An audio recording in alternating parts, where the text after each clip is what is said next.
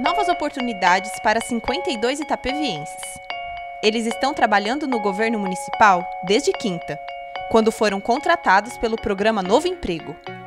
Eu nem acreditei, porque eu tenho 52 anos, não tenho profissão. Nossa, eu levei até um, um susto, né? Fiquei muito feliz. O programa contrata pessoas vulneráveis para ajudá-las a voltar ao mercado de trabalho.